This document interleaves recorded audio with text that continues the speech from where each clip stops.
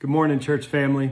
I'm excited to bring the challenge today from our verse out of our 52 uh, day reading plan. We are on Sunday, February the 13th, and we're talking about others. Uh, here's the verse Do nothing from selfish ambition or conceit, but in humility count others as more significant than yourselves. Count others as more significant than yourselves. I don't know about you, that's an awful great challenge to me.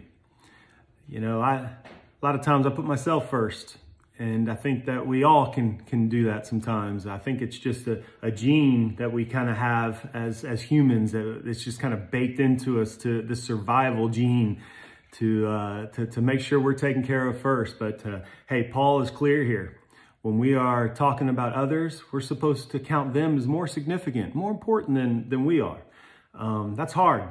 And that's going to take some practice. And that is a mindset that we're going to have to put ourselves into to be able to love others the way that Christ uh, expects us to love.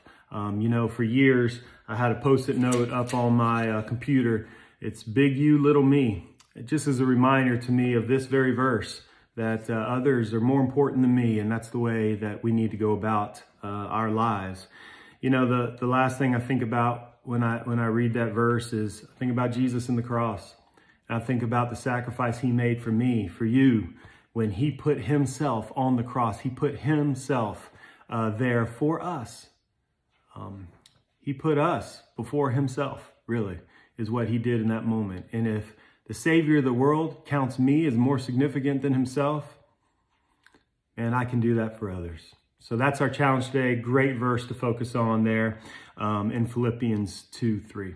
So let me pray for us.